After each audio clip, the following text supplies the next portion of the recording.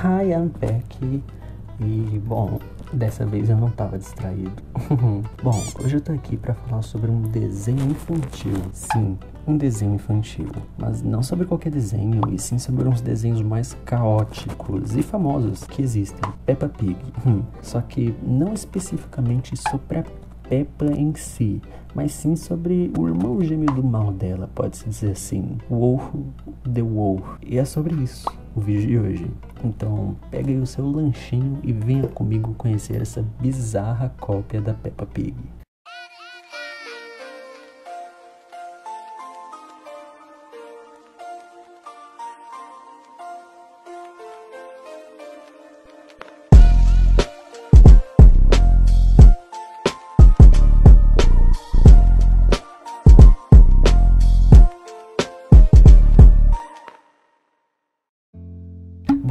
Acho que todo mundo em algum momento já assistiu desenhos infantis, é óbvio, até porque todos nós já fomos crianças. Eu particularmente amava assistir os desenhos da TV Cultura. Todos os desenhos eram incríveis, mas eu não cheguei a acompanhar Peppa Pig quando era mais novo, o que é meio irônico, já que Peppa é um desenho até que bem antigo, de 2004. Mas mesmo assim, eu só fui a conhecer a Peppa bem depois de mais velho. Mas já que a gente tá falando de desenho, aproveita e me diz, qual o desenho que você mais assistia na sua infância? Eu particularmente amava Emily e Alexander, que passava na TV Cultura. Cara, era muito bom, era muito massa, eu amava aquele desenho, principalmente a música de abertura. E vocês? Qual desenho que vocês mais assistiam? Digam aí. Vai ser legal saber mais sobre os desenhos que vocês assistam e quem sabe até eu não faça um vídeo sobre. Mas bom, Peppa Pig até esses dias passava na TV Cultura, assim como a maioria dos desenhos infantis. Mas não é só no Brasil que a Peppa é uma febre. Ela é um desenho mundialmente conhecido. Para vocês terem noção, o canal delas no YouTube tem mais de 26 milhões de inscritos. É muita coisa. E a Peppa além de tudo isso, ainda é polêmica, já que muitos pais reclamavam que a Peppa não é tão educativa assim, mas ela tenta. Uma polêmica bem bizarra sobre a Peppa foi sobre o seu sotaque. Peppa Pig é um desenho britânico do Reino Unido e com a febre do desenho, alguns pais começaram a relatar que seus filhos estavam começando a falar inglês com sotaque britânico, que, para quem não sabe, mesmo que tanto o Reino Unido quanto os Estados Unidos falem inglês, ambos países são países diferentes com sotaques diferentes. E muitas crianças estadunidenses começaram a falar inglês com sotaque britânico por causa da Peppa. Aconteceu mais ou menos o mesmo em Portugal, com os pais reclamando que os filhos estavam falando em português do Brasil, por causa do Lucas Neto. Bom, acho que isso é só um contexto mais do que suficiente para vocês saberem o poder de produtos infantis, o poder de influência de produtos infantis. Quando algo é voltado para o público infantil, tem que ser algo bem feito e com responsabilidade, já que ele pode literalmente, como vimos, moldar o jeito de fala e comportamento de crianças. Mas Peppa, apesar de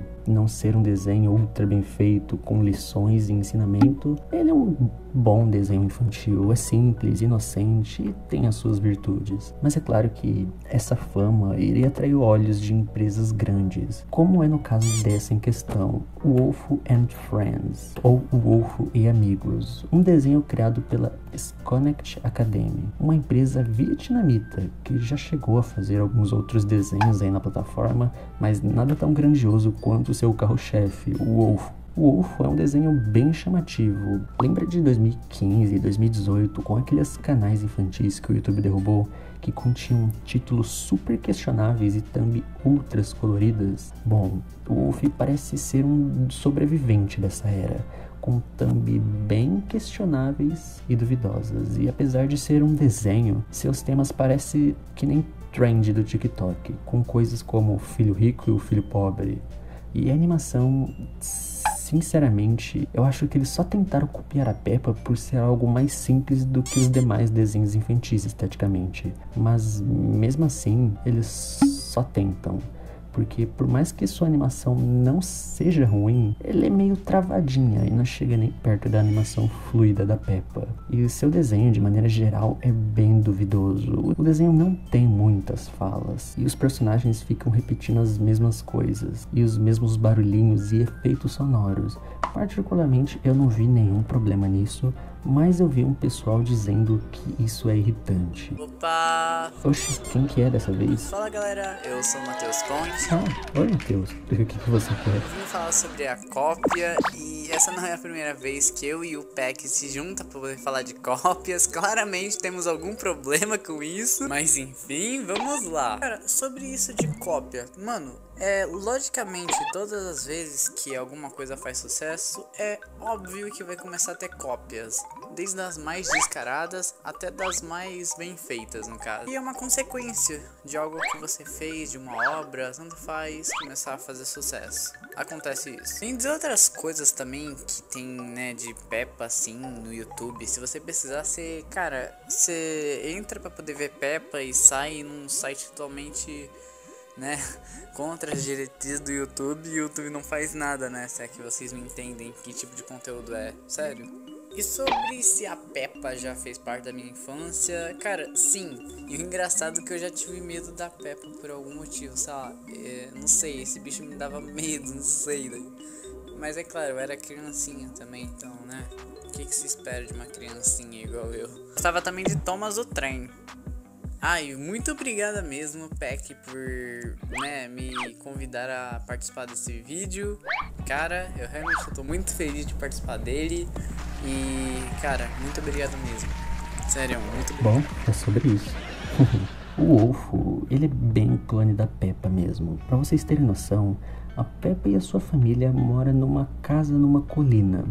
E o Wolfo e sua família moram na exata mesma casa. e a família do Wolfo parece que eles só mudaram algumas coisas. Tipo, a Peppa é uma menina e tem um irmão mais novo. O Wolfo, ele é um menino e tem uma irmã mais nova. Realmente, que inovação. Parece que ainda não deu em nada, mas a empresa, a dona da Peppa, chegou a processar a empresa criadora do Wolfo por plágio mas até o momento ainda não saiu nada sobre o processo. Uma coisa que eu achei engraçada desse Wolfo é que eles são bem caras de pau. Tipo, no desenho eles têm uma família rival. E adivinha qual espécie é o animal dessa família rival? Isso mesmo, porcos. Os caras nem disfarçam. O desenho em si é bem bait para pegar criança, colocando aqueles personagens de cultura pop no meio dos episódios e coisas sem sentido só para chamar atenção mesmo. Eles nem tentam fazer um trabalho sério igual que a Peppa faz. E sinceramente, eu não sei como eles não foram processados por outras empresas. E é óbvio que o Wolf só tá onde tá por causa do algoritmo do YouTube, né? As crianças não estão nem aí para a qualidade duvidosa do desenho elas só assistem o que for mais chamativo. E é aí que o Wolfo brilha. E foi por esse mesmo motivo que surgiu aqueles famosos vídeos da Elsa e do Homem-Aranha, que são terríveis e questionáveis. O Wolfo não é de longe tão ruim assim. Ele só é meio questionável e claramente os criadores não se importam com criança. Eles só fazem esses vídeos para pegar clique porque criança é a parte do YouTube que mais gera renda. E é óbvio que alguém iria querer explorar isso com vídeos duvidosos. Isso igual que já aconteceu antes. Mas hey, digam aí o que vocês pensam desses desenhos questionáveis. Se vocês acham que isso é bobagem, que não tem nada demais, ou se vocês acham isso perigoso e nocivo. Digam aí também se vocês já conheciam esse Wolf the Wolf. Mas é isso, eu vou ficando por aqui. Valeu, falou, é nóis e tchau, tchau.